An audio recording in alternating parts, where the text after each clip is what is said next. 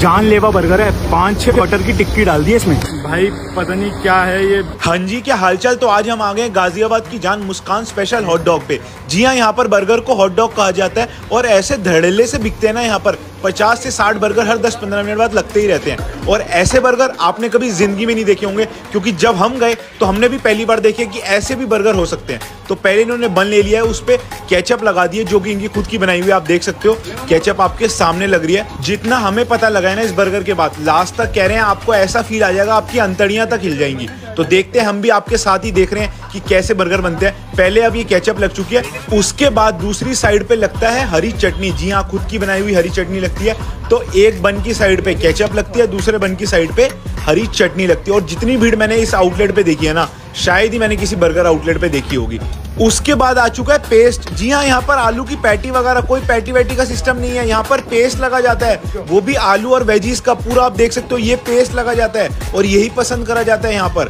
Paste के ऊपर धनिया डाल दिया और पूरे चक्कू मार मार के उसको कड़ाया जा रहा है। ये देखो। अब उसके बाद आप देखना ये बर्गर कैसे बनते हैं। पहली बार आपने कभी देखा है? बिना पैटी के बर्गर सिर्फ़ पेस्ट लगता है यहाँ पर। मेरे लिए तो पहली बार था बिना टिक्की के बर्गर देखना। आप बताओ, आपने पहले भी देखा हुआ है क्या? उसके बाद ये पेस्ट लगना चालू होता है। बर्गर के एक बन पे यहाँ पर केचप लगी थी। उसके बाद प्याज लग रहा है इस पे। अब आप पूरी मेकिंग देखना। इतने बर्गर आपने एक साथ देखे ही नहीं होंगे बनते हुए। और ये हर दस पंद्रह मिनट बाद बनते रहते हैं इनके इतने बर्गर पचास से साठ। पेस्ट लग चुका है, उसके बाद प्याज लग चुका है, इसके ऊपर प्याज देख लो आप पूरा सही से। मतलब देसी स्ट्रीट स्टाइल बर्गर के किंग कह दो आप इनको।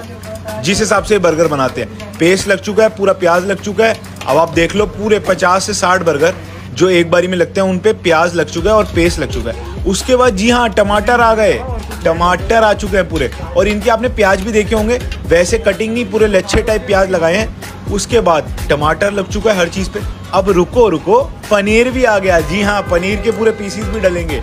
तो मतलब पूरा खतरनाक बर्गर होने वाला है और लास्ट तक मुझे देखना है। क्योंकि मैंने सबसे सुना है लास्ट में सही में अंतड़ियाँ खुल जाएँगी। तो मैं देखना चाहता हूँ लास्ट में ऐसा क्या होता है। मसाला डल चुका है, पनीर डल चुका है। जी हाँ नींबू भी आता है। बर्गर में नींबू। जब पेस्ट हो सकता है तो नींबू क्यों नहीं हो सकता? ठीक है, नींबू आ चुका, उसके बाद अब बन लगा दिए जो हरी चटनी वाले बन थे, वो इसके ऊपर आ चुके हैं। और यहाँ पर वर्करों के हाथ देखो कैसे चल रहे हैं। मैंने कोई भी स्पीड मोशन नहीं करी, ये इतनी तेज़ी बना रहे हैं। पूरी ट्रे भर चुकी है, बन लगाकर। उसके बाद आता है, मुझे लग रहा है यही मेन स्टेप है। क्योंकि यहाँ पर बर्गर को फ्राई किया जाता है, और तेल में नहीं। मैं आपको दिखाऊँगा, ये बटर में। और इतना बटर आएगा ना इस वीडियो में, मैं आपको बता रहा हूँ, आप हिल जाओगे अंदर से। ये अभी देख लो, ये अभी पहली बार फ्राई हो रहा है, पाँच से छह बटर की टिक्की आ चुकी है।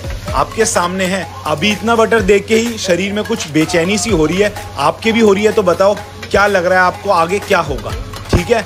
तो इतने बटर में अभी बर्गर फ्राई होंगे, और वो पहली बार ही होंगे। अभी देखना आगे क्या क्या होता है इसमें। आप देख सकते हो, इतने बर्गर आ चुके हैं एक बारी में। और ये सही में 10-15 मिनट में बिक जाते हैं। मैंने खुद देखा इतनी लाइन से लगता है, यहाँ पर शाम को भीड़, ऐसे पाँच छः बजे के करीब। तो भाई, ऐसे जैसे मतलब लोग पागल हो गए इस बर्गर के पीछे। और इसमें दो तीन वैरायटी आती है, मसाला वाले चीज़ वाले। जी हाँ इसमें चीज़ की स्लाइस डाल देते हैं और बेच देते हैं। इसकी कॉस्ट अराउंड चालीस रुपये होती है, जो कि हमने खाया तो हमें पता है।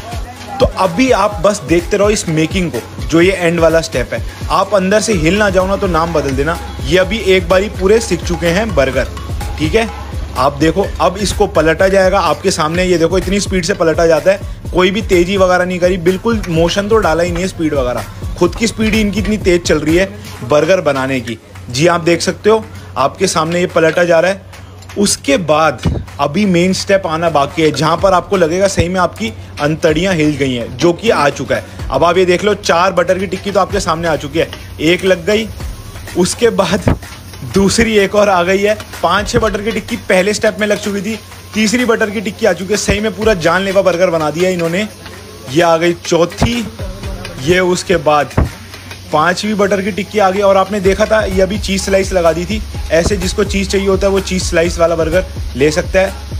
उसके बाद पाँच बटर की टिक्की आ चुकी है। अब ये पूरा सेका जाएगा और उसके बाद लोगों को दिया जाता है। मेरे को समझ नहीं आता कैसे लोग खा लेते हैं इतना बटरी बर्गर मतलब मैंने जब खाया ना तो अभी आप मेरा देखोगे आगे एक्सपीरियंस कैसा रहा बटर खाने का।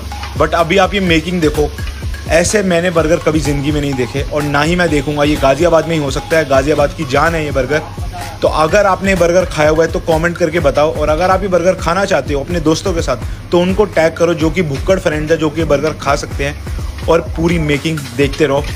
पूरे ये लाल हो चुके हैं ब्राउन हो चुके हैं। पूरे आपको दिख रहे होंगे। अगर आप लोग सोच रहे हो कि आगे क्या होगा, बस ये यही तैयार हो गए। ऐसे ही लोगों को पसंद आते हैं, बस ऐसे ही दिए जाते हैं। तो हमने भी एक बर्गर लिया और अपना एक्सपीरियंस हम आगे आपको बताते हैं कि कैसा रहा। जानलेवा बर्गर है। पाँच, छह बटर की टिक्की डाल दी इसमें।